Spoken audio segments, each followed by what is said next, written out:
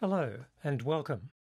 This series of video lessons is designed to get you started with FileMaker Pro, a program that offers you powerful tools for organizing and managing information.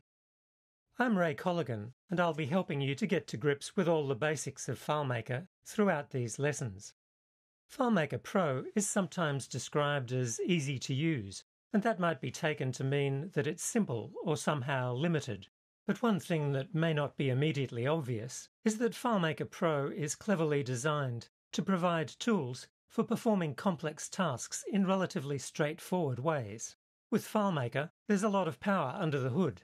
So while you can keep it simple and get a lot of things done, when you need to do some heavy lifting, this is a program that'll stay with you all the way to the industrial strength end of database programming. This series of lessons will get you started with FileMaker Pro and will show you a lot of practical steps and techniques to enable you to find your way around and to accomplish what you want to. The lessons are organised into 12 chapters that deal with all the basics you'll need to build an essential skill set and start tapping the power of this versatile tool. I'm going to assume that you're pretty smart, as shown by the fact that you've found your way to these videos. But for this introductory title, I won't be assuming that you've used FileMaker before, or that you already know about databases or programming. I'll be starting from basic concepts and showing you how to apply them using FileMaker. Some of the topics I'll be covering in the videos will include the basics of creating a database, creating a file, adding tables and fields, entering, sorting and searching your data, creating screens and summaries, and all the way to working with basic calculations and building simple scripts that perform tasks automatically. For these lessons, I've primarily used FileMaker Pro 12, and there's a chapter devoted to the additional features in FileMaker 13. However, a majority of the techniques I'll show throughout will also apply to earlier versions, and you can expect that the concepts and a majority of the techniques will still be applicable in later versions as well. I'll be working on the Apple Macintosh platform, but don't worry if you're using a different operating system.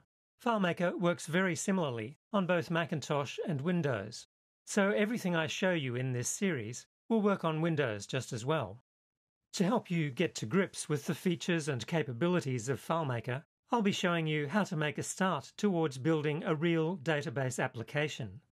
The particular example I've chosen is a database for keeping track of quotations and references such as you might use while preparing research papers, articles, study assignments, essays, or the like. I've called the example database Bibliographile. Let's take a quick look. Here's an example of the completed bibliographic database. At the heart of the database is the Publications screen, where you can enter details such as the name of a book, the year of publication, the publisher, the authors, and so on. These details are stored in separate tables, and there are screens to view or search for individual publishers and for individual authors.